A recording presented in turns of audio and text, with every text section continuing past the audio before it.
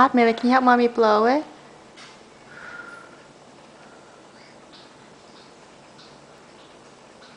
Thank you, Millie. Let's blow it more.